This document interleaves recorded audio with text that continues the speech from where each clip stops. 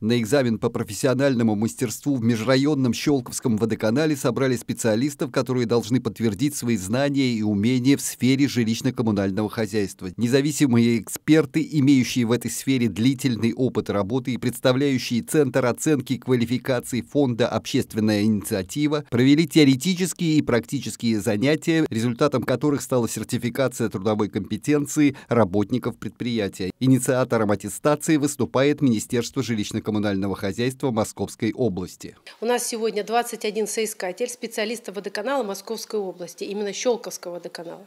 Щелковский водоканал – это одно из крупнейших предприятий на территории Московской области, пять территорий обслуживает. Сегодня у нас, еще раз скажу, 21 соискатель.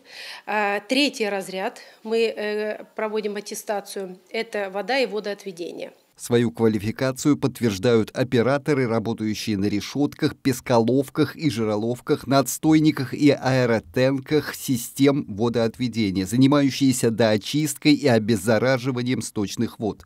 Те люди, которые проходят и теоретическую, и практическую часть, получают свидетельство о независимой оценке квалификации, зарегистрированное в реестре, в реестре Национального агентства развития квалификации при президенте Российской Федерации.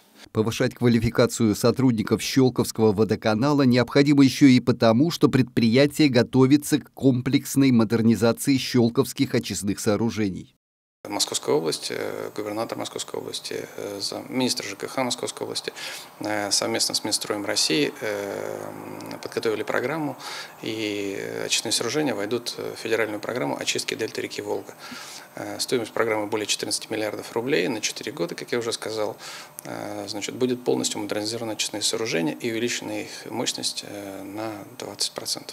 Аттестация, которая проводится на Щелковском водоканале, первая для всей отрасли жилищно-коммунального хозяйства Московской области. В дальнейшем она затронет и другие предприятия этой сферы. Андрей Цеханович, Игорь Поляков, Щелковское телевидение.